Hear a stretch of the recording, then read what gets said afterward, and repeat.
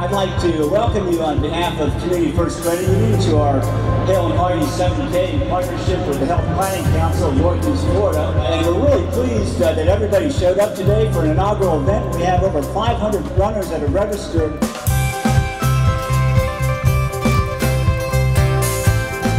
Riverside community has been recognized by the American Planning Association as being one of the best communities in the country.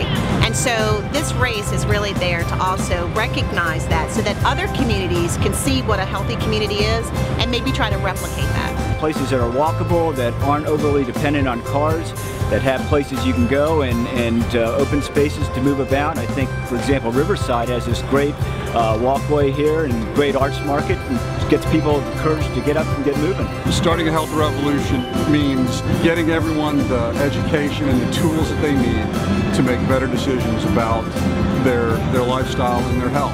The Hale and Hearty concept really comes about getting people to understand that health is not just about physical fitness. It really is about how your community is designed. And if we want people to be healthy and if we're trying to get them out and be physically active, then we need to design our communities to support that. Everything that you do has an impact on your health and we want to raise that awareness.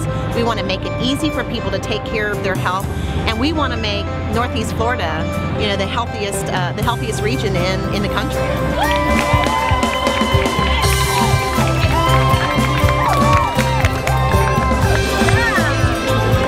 Course, great people.